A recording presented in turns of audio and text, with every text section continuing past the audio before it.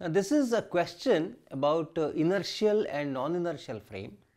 We generally think that if a frame is uh, at rest or moving with uniform velocity, it is inertial frame and uh, if it is accelerating then it is non-inertial frame. Now, the students have asked me this question that if two frames are accelerated, but then uh, they do not have any relative acceleration, they are accelerated with the same acceleration, then as seen from one is the other inertial. So, if you have a frame let us say this frame is S and another frame is S prime and what uh, the question which is being asked is that this is also moving with an acceleration a, this is also moving with an acceleration a, then can we say that this frame is inertial with respect to this frame or this frame is inertial with respect to this frame because there is no acceleration of s prime with respect to s or no acceleration of s with respect to s prime. So, we have to really understand what this non-inertial thing is and what is this acceleration. When you say that this is accelerated, this is accelerated, you do have another yet another frame in mind with respect to which this is accelerated and which respect to this which this is accelerated. So, that uh, any acceleration any motion you have to have some frame in mind with respect to which you are talking. Now, whether a frame is inertial or not inertial non inertial that is exclusively tested by if you have a particle and you look at that particle from this frame and you find that there is no force on the particle, 0 force on the particle and the particle is not accelerated, that frame is inertial. So, I do not need uh, 2, 3, 5 frames, I have just one frame and I have to I can test whether it is inertial or it is non inertial. What I have to do? From that frame I have to look at some uh, particle on which there is no force or 0 force, net force 0.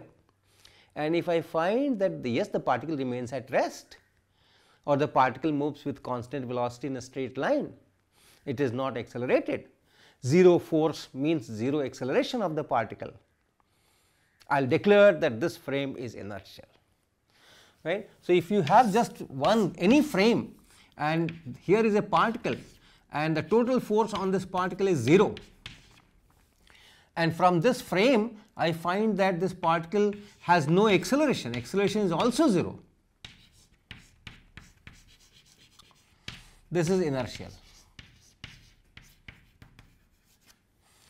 And if that does not happen, you find that uh, there is a frame and then in, from this frame I am looking at a particle on which the total force is 0, but I see that acceleration is not 0. From this frame I am looking at a particle on which the total force is 0, but then uh, I do find from this frame that it is accelerating, this particle is accelerating without applying any force, then this is non-inertial.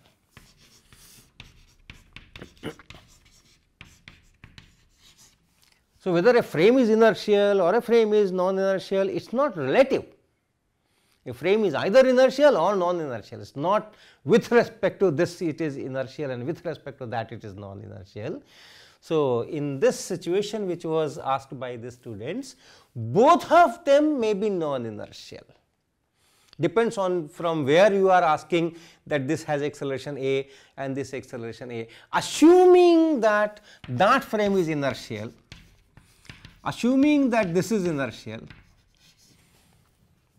with which this acceleration is a here and with which this acceleration is a here and if this is inertial then both of them are non-inertial.